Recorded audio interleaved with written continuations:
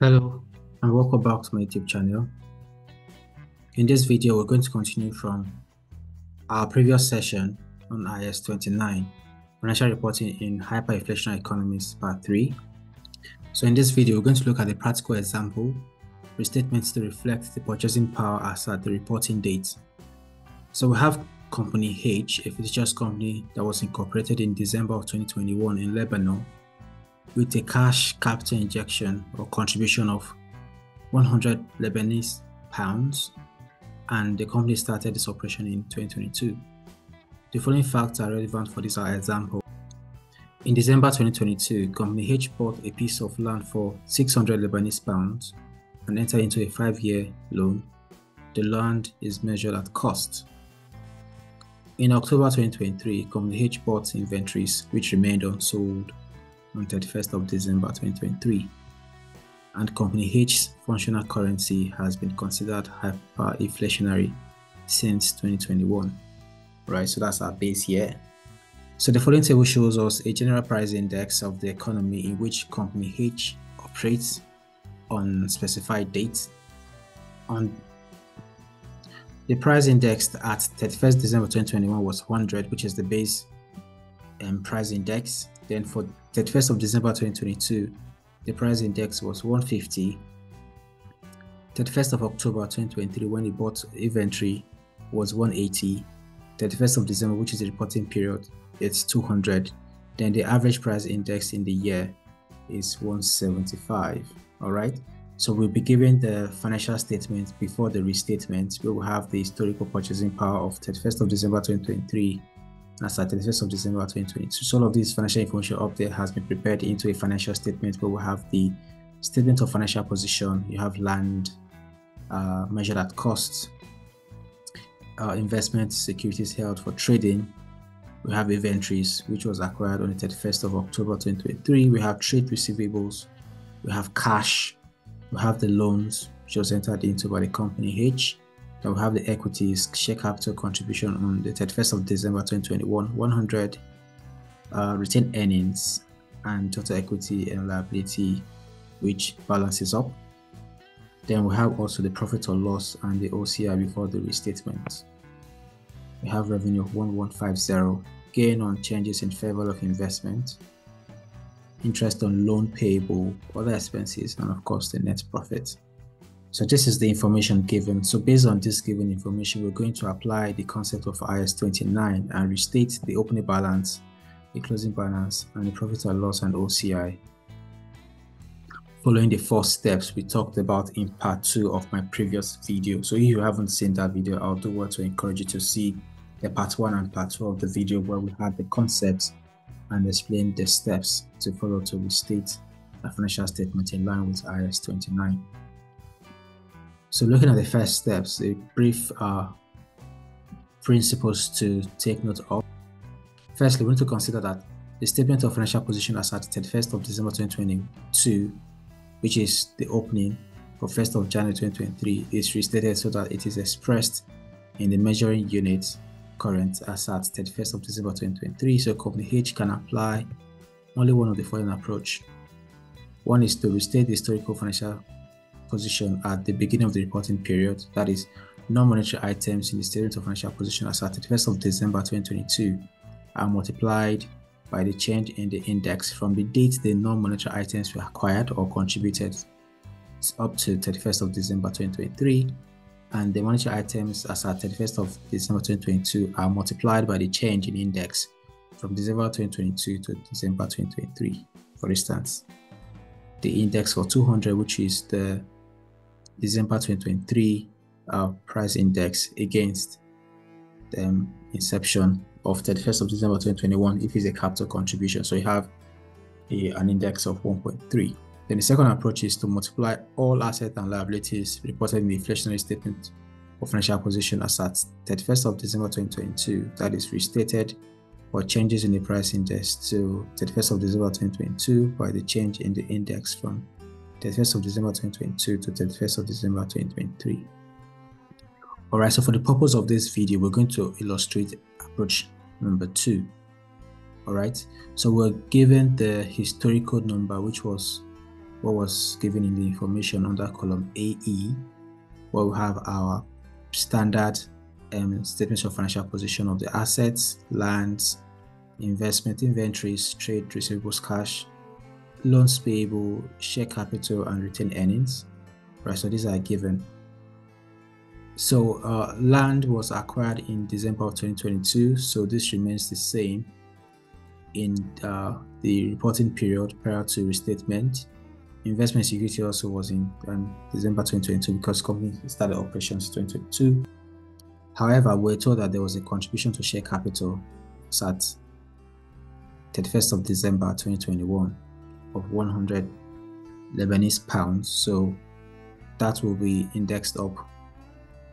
So for us to do this, we need to determine what is the price index in December 2021 and the price index in December 2022. So we can see from this um, given information that the price index in 2022 is 150 and the price index in 2021 is 100. All right, so we'll come here and apply the price index on the share capital amount of 100 Lebanese pounds. So we'll do this equals to 100 multiplied by 150, right, divided by 100. So it gives us uh, our new share capital amount of 150 Lebanese pounds. Then our retained earnings is the balancing figure of 750. So I'll type in here 750. Then our account is balanced. All right. So for comparative purposes, we're going to uh, restate this opening balance as at 31st of December 2022 under column AF to then compare with the closing balance sheets or statement of financial position at the end of 31st of December 2023. So that takes us to the next uh, column, which is column AH. So we're going to do this equals to the 600 multiplied by the price index of 31st of December 2023, 200, divided by the price index for 31st of December 2022, which is 150. Okay, so have 800 as the new value for land then we have um, investment in securities. So we apply the 150 on the price index for 2023 and against the price index for 2022 equals to 150 multiplied by 200 divided by 150. So have investment securities now 200. Then inventory is zero as at 31st of December 2022. So it's new amount then for trade receivables, we apply say 200 multiplied by the price index for the 1st of December 2023, which is 200 divided by the price index for 2021, 150. All right, so we'll do similar for cash equals to 350 multiplied by 200 divided by 150. All right, so we have our total asset of 1 1,733 Lebanese pounds. Then on the loan side, we do 400 multiplied by the price index, 200 divided by 150. So for a loan of 400, it's now indexed at 533 due to the purchasing power. Then for our share capital, will then be on the new share capital amount of 150 multiplied by 200 divided by 150, which is the price index for 31st of December 2022.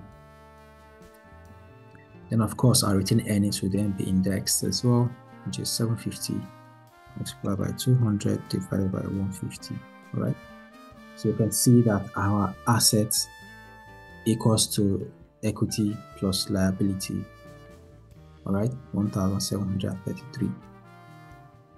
So that's step one, restating the financial position as at 1st of January 2023, which is the opening balance. Hmm.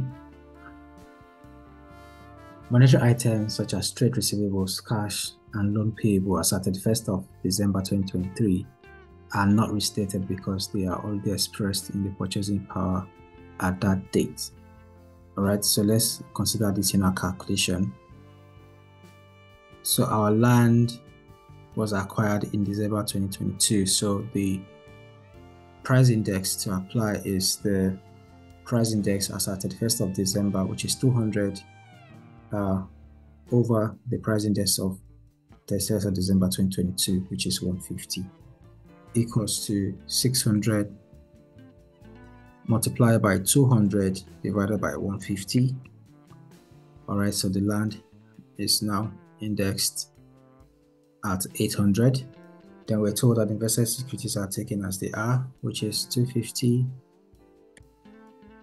So for inventories that was acquired on 31st of October 2023, so we need to use the price index for October on the price index for 31st of December 2023. So the price index would be equals to the amount of 100 multiplied by the price index as at 31st of December 2023, which is 200 divided by the price index as at 31st of October 2023, which is 180 from the table that we were given. Press enter key. We have 111.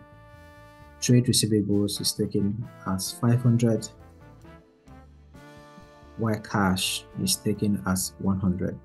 All right. So our total asset is 1,761 Lebanese pounds.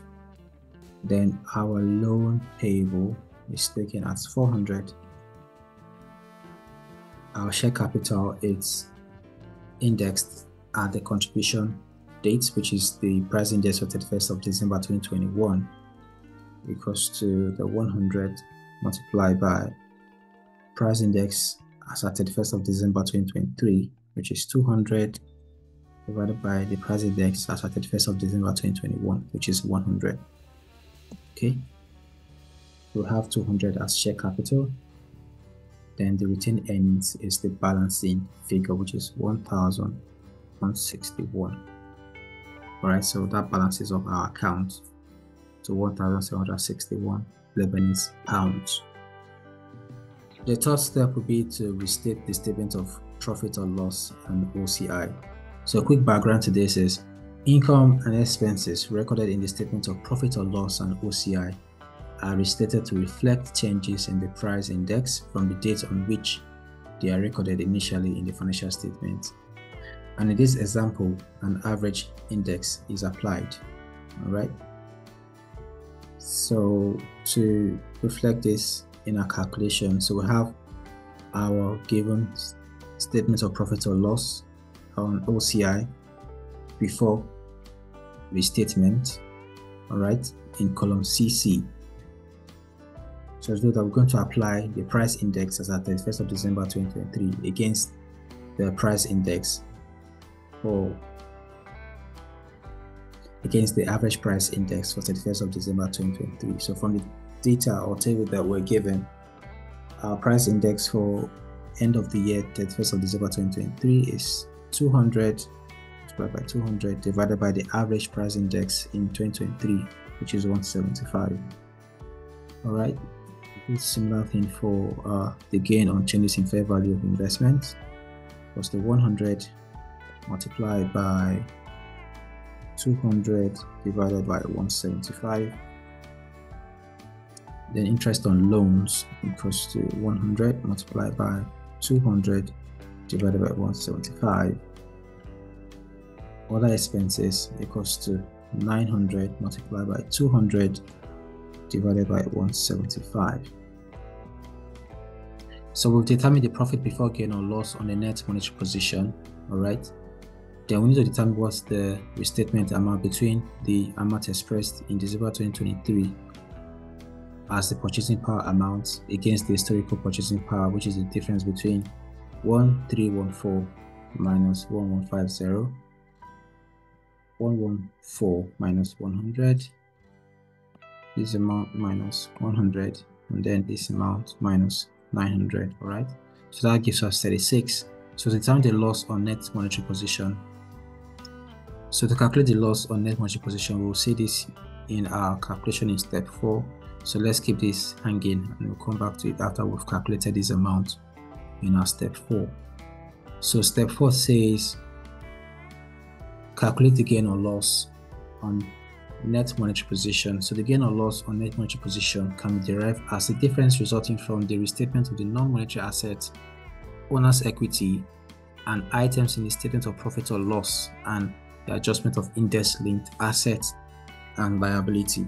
So these are gain or loss is derived from three components. The first is from your um, monetary, non-monetary assets and owner's equity. And of course, items in the statement of profit or loss and OCI, which we determined to be 36. All right, so we'll come back to this. So our table here gives us the difference between the amount expressed in, at the purchasing power at this date against the amount expressed at the purchasing power amount as at 31st of December 2023. So for land, we had 600, which was later expressed as 800, inventories 100, which was later expressed as 111. So these are the differences resulting from that um, restatement. Then we have also on the owner's equity side, where we have uh, initial share capital 150, then later expressed as 200. There's a loss on this amount of 50. Then on retained earnings, there's a loss of 250, and of course, our 36 from the profit or loss and OCI. So that gives us an overall loss on net monetary position of 125. All right. So this 125 is what we then link back to our calculation in step 3. So to determine the overall net profit, we move to pick the loss on the net monetary position of 125. All right, which is this amount. And then our overall net profit position is 161 Lebanese pounds. So we've come to the end of this video. Thank you for watching and see you in my next video. Bye.